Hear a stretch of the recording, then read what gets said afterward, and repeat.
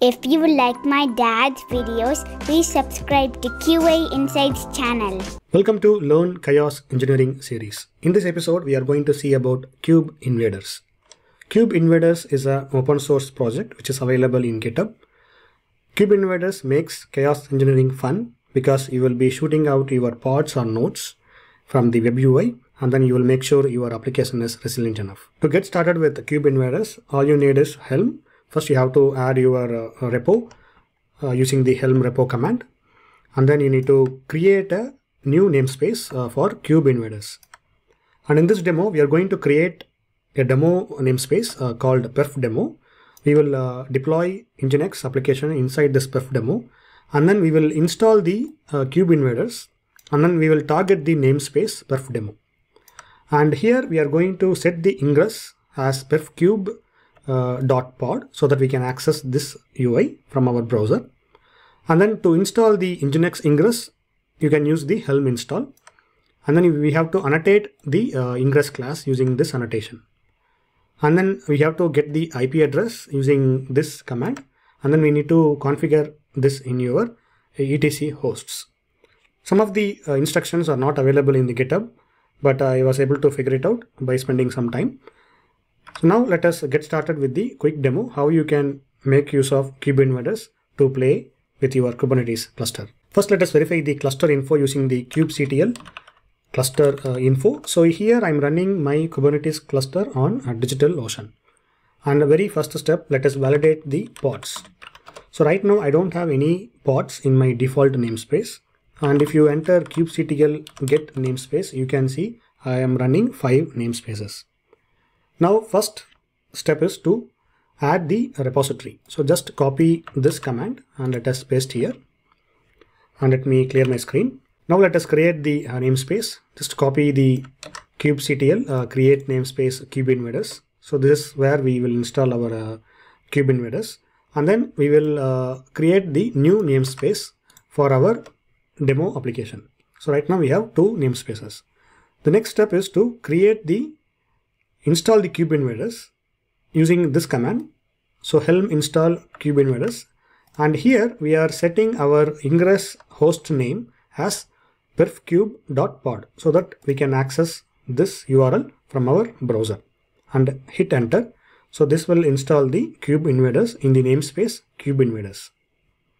So now as you see, it is giving a message. Thank you for installing kubeinvaders and visit perfcube.pod. But do not click it because we have to set the uh, etc hosts. So don't uh, rush up. Now next step is we need to update our repository using the helm repo update. And let me clear my screen.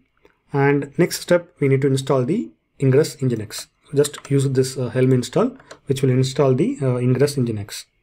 Now let us wait for a few more moments and then we can proceed further. Okay now ingress has been installed and let me uh, clear my screen. And next step we need to annotate this particular ingress. For annotation let me uh, launch the uh, lens IDE here. And let us go to pods. As you see there are so many pods running in all namespaces and if you go to kubeinvaders you can see one pod is up and running. And similarly if you go to your services again there's a service which is up and running cluster IP and then ingress you can see there is a one ingress. So this is where uh, we have set the rule just uh, edit this particular ingress uh, object. Click on edit. And under the annotation let us add the annotation. Just copy this ingress class annotation and paste it in the new line and hit save and close. You can also use the kubectl command to annotate the ingress uh, class annotation. Now let us wait for the DigitalOcean to allocate an IP address to this ingress. So we need to wait for a few moments and then we will get one IP address. So we need to copy that IP address and paste it in our uh, etc hosts file. To verify the IP address, whether it is creating or uh, whether it is already uh, done, you have to use this command. So if you use the get ingress networking and uh, inside the uh, namespace kubeinvaders, we will get the status. Now let us launch the terminal and let me paste it here.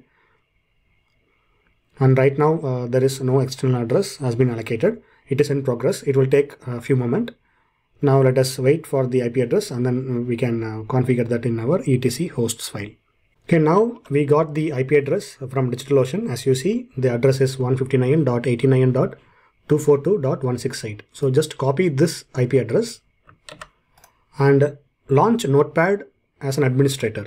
So just go to your uh, search and search for Notepad and expand this menu and select the run as administrator.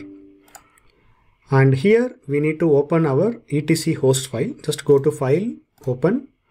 And if you go to system32, drivers and etc and select all files here, you can get this host file. Just click and open. And at the bottom, you can see I have added one entry. So this is my previous uh, IP address. So I'm just going to replace the new IP address and space and you have to enter the exact host name. In this case, perfcube.pod and save this and close. Now open your favorite browser and type https slash slash perfcube.pod. So this is the host name we have configured in our deployment. Just hit enter. So this will give you this warning that is fine. Click on advanced and click accept the risk and continue. This will launch the KubeInvaders homepage. And very first step we need to know is the help. Just type H. It will uh, bring this uh, information. H is to activate or deactivate help. S is for uh, shuffling for aliens, whether you can activate or deactivate. N to change the namespace. And P to activate or deactivate the pods. C is to activate or deactivate the nodes. So in this case, let us uh, activate the P for pods. And whenever you do some action, it will display the latest action. So here in this case, we activated the show pods. And if you type C, it will hide the nodes. Right now it is showing nothing because we don't have any pods which is up and running in our perf demo namespace. Now let us deploy our Nginx pods in our perf demo. Just go to the terminal. Let us uh, create uh, some Nginx deployment. So this command will create 10 replicas and with the image Nginx in the namespace uh, perf-demo and hit enter. So now if you go to your browser, after a moment, uh, you will see all your pods, which is uh, coming up here. There will be 10 pods, which will be uh, displaying here. Now it is time to play and we can make sure our application is resilient by deleting the pods. To move around, you can use your uh, left or right arrow key and to shoot, press the space. So now as you see, one pod has been killed and another one immediately shows up. So now if you just uh, kill randomly, as you see, whenever a pod gets deleted, it is automatically coming up. Now if you go to your terminal, and let me just uh, rearrange and let us uh, get all pods in uh, perf demo and let us uh, watch it here. So now I'm going to zoom in and uh, let me uh, click on the start button. So once you click on start, it will randomly start deleting the pods. So no need to do anything. It will automatically deletes and in the right side, you can see the status. So what is the uh, current status uh, of the each pod, whether it is terminating or deleting or pending. And if you just uh, maximize your browser at the top, Uh, you can see your uh, status. So how many pods are deleted, uh, how many pods are not running, current replica state, and what is the delay uh, in the latest replicas state. So everything you can see it here. So this is how you make sure your uh, application is resilient by uh, deleting the pods randomly and you will monitor using uh, Prometheus or your observability tool and find some issues Uh, with respect to performance or resilient. So now uh, if you go to the menu here, there are a few more features are there. One is the cube kubelinter.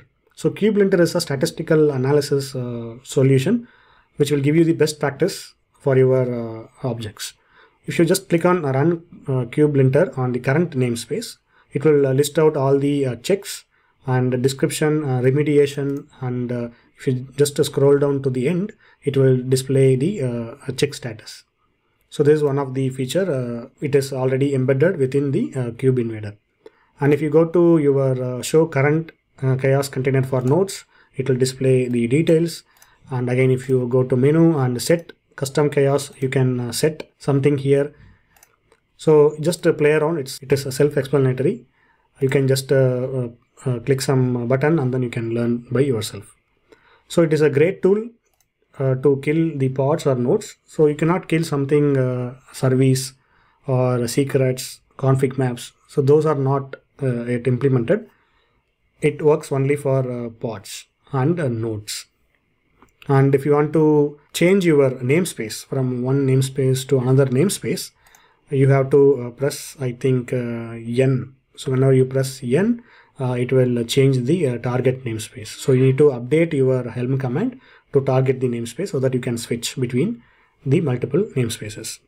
So I hope uh, KubeInvader is pretty exciting and uh, uh, it's very easy to implement and uh, you will learn your chaos engineering uh, concepts by playing around with your Kubernetes cluster.